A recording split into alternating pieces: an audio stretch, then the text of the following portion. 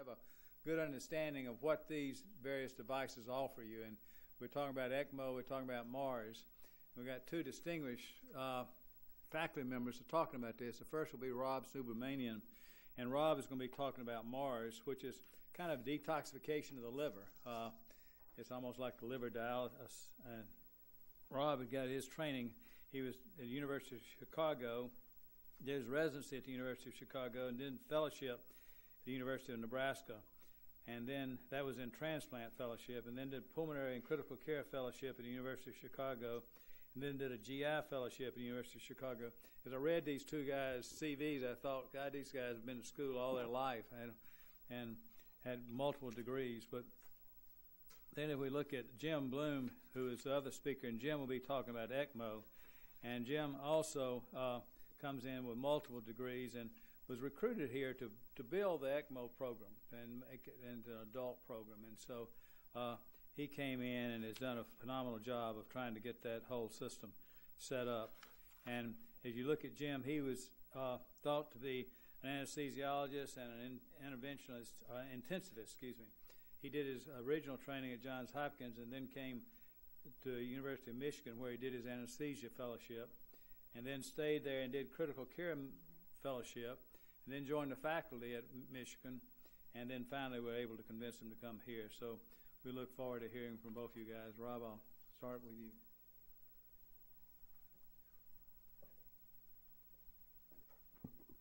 Uh, Dr. Morris, thank you for that introduction. Um, so before I get started, I just want to take a moment to acknowledge and thank uh, many departments in, at Emory who have made Mars a possibility at, at, uh, at our institution. We are currently uh, the leader in North America with respect to artificial liver support. And I think uh, it is, and that is because we've had support from the Emory Transplant Center, the Emory Center for Critical Care, my colleagues in hepatology, nephrology, intensive care, and also the passion of the intensive care nurses that has made this possible is needs to be acknowledged. So, just a word of thanks to uh, a lot of folks in the crowd as well who have made this happen. So I want to start with a case, and this is a case from about four years ago. It's a lady with severe acute liver failure. So a 40-year-old, no significant past medical history, gets transferred from outside hospital with worsening jaundice and fatigue. These are initial labs. She's got a coagulopathy, an INR of two and a half, transaminitis, severely jaundiced with a bilirubin of 20. And then she starts developing the uh, consequences of severe acute liver failure. She starts developing worsening encephalopathy, which is concerning for uh, evolving intracranial hypertension. And then as we work her up, she is diagnosed with uh, severe Tylenol-induced acute liver failure. And then things get worse. She develops worsening uh, encephalopathy and gets intubated for airway protection. And then, uh, as you can expect in severe failure, the INR gets worse. It goes up to greater than 10, becomes undetectably high. Uh, and this is happening despite a decrease in her transaminases, which is ominous. She has no liver to even necrose anymore. And then she develops severe hypoglycemia, which is one of the last things to go. And at this stage, we would like to consider her for liver transplant, but she has some potential psychosocial barriers. And so now we are thinking about non transplant ways to support a failing liver.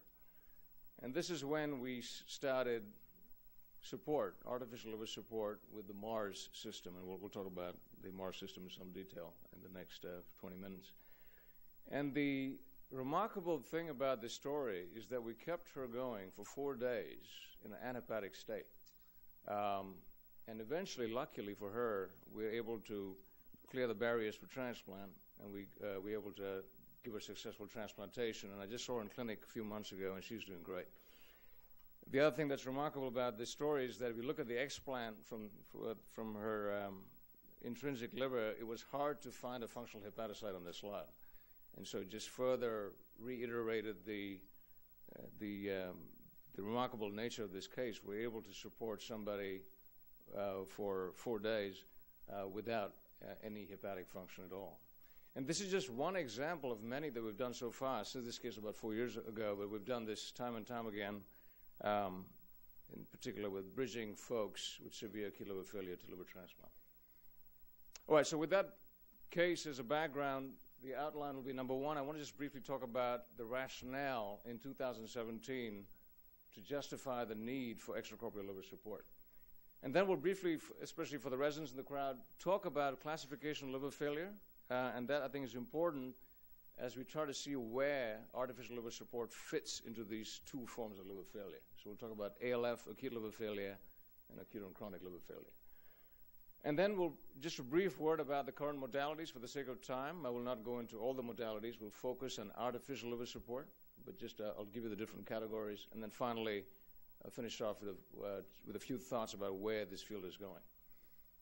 So, why do we need to think about artificial liver support in 2017. And this is data from UNOS, the federal database, in 2016.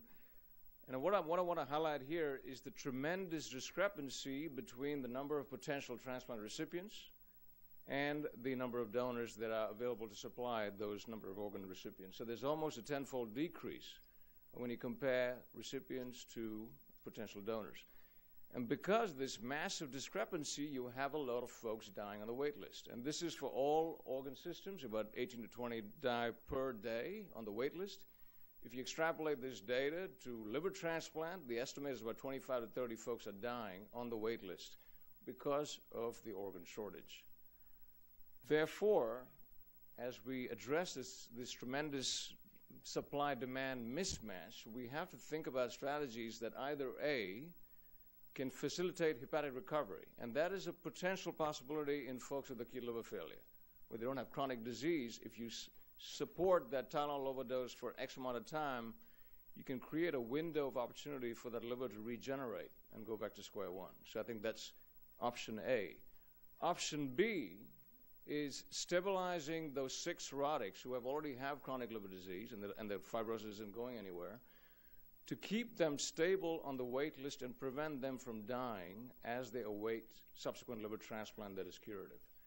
So, as you think about options A and B, I think this is where there is an opportunity to think about artificial liver support um, as a curative measure in ALF and acute liver failure, or as a bridge to transplant in particular in acute and chronic liver failure. So just a brief word. I've alluded to ALF and ACLF. So what do these terms mean for those of you who haven't uh, thought about liver failure in a while? ALF, or acute liver failure, is strictly defined as acute hepatic dysfunction in the absence of chronic liver disease. And a good example of this is that a young patient rolls in with a Tylenol overdose. The potential good news about these patients is if you can stabilize them for X amount of time, they have the potential to regenerate their liver back to a normal hepatic function. So that is ALF. Acute on chronic liver failure, another way to think about it is decompensated cirrhosis, is what we see all the time, more commonly. And that is decompensation of pre existing portal hypertension. Example is a hepatitis C cirrhotic.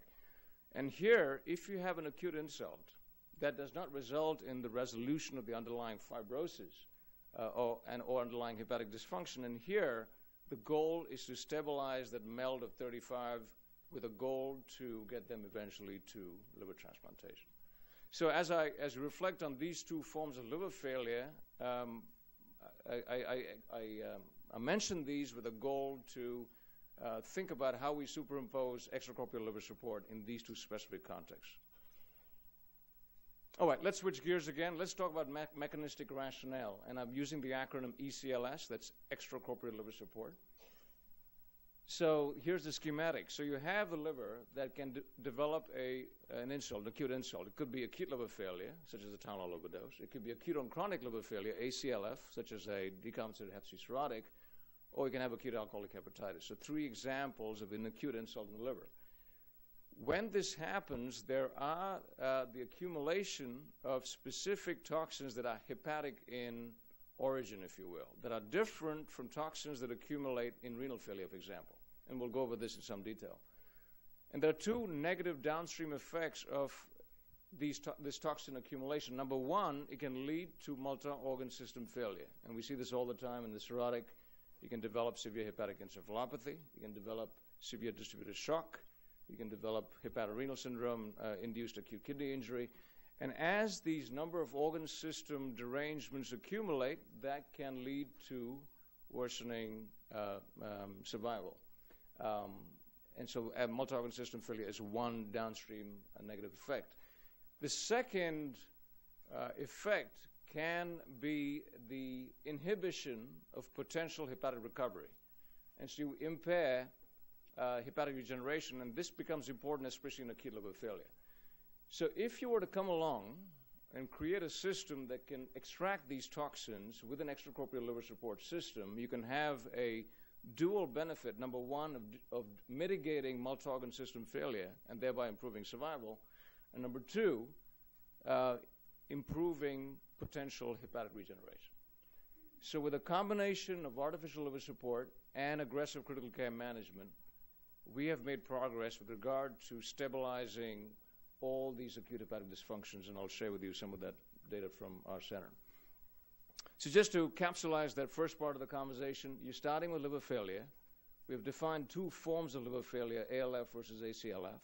And as you think about the role of extracorporeal liver support in these two specific forms of liver failure, in the setting of ALF, you can either bridge them to intrinsic recovery, or you can bridge them, if the damage is too far gone, to liver transplant. And we've done both of these um, uh, forms at Emory. In, this, in the chronic setting, when you already have a cirrhotic, we have successfully bridged folks to temporary stabilization. So take that MELD of 35, bring them down to 30, prevent them from dying, and eventually bridge them to life-saving liver transplantation. All right, so just a brief word, switching gears again. Two forms of extracorporeal liver support. We'll focus today on artificial liver support. And under, under that category, you have the MARS system, which stands for the Molecular Adsorbent Recirculating System. Uh, I would think of it as an albumin dialysis system. Um, and number two is high volume plasma exchange. And this is exciting data. We did our first case a couple of weeks ago with regard to high volume plasma exchange with some pretty remarkable uh, effects. I want to share that with you as well. So we'll focus our attention on these two forms. Just for the sake of completion, there is another evolving form of liver support, which is called bioartificial, i.e., you actually have hepatocytes in the extracorporeal circuit. And this is an, as part of a phase three study that is happening currently, and Emory is one of the sites uh, looking at using the ELAD system in severe alcoholic hepatitis. So we won't talk about the ELAD system, which is a form of bioartificial. We'll focus on the artificial support system. So let's sort of dive into Mars. Um, and this is a schematic on the left of the Mars membrane. So as you reflect on this diagram, I would draw a contrast to CRRT, uh, renal dialysis. So just to orient you here, here's the patient's plasma with the, um, the, with the, the albumin molecules flowing this way.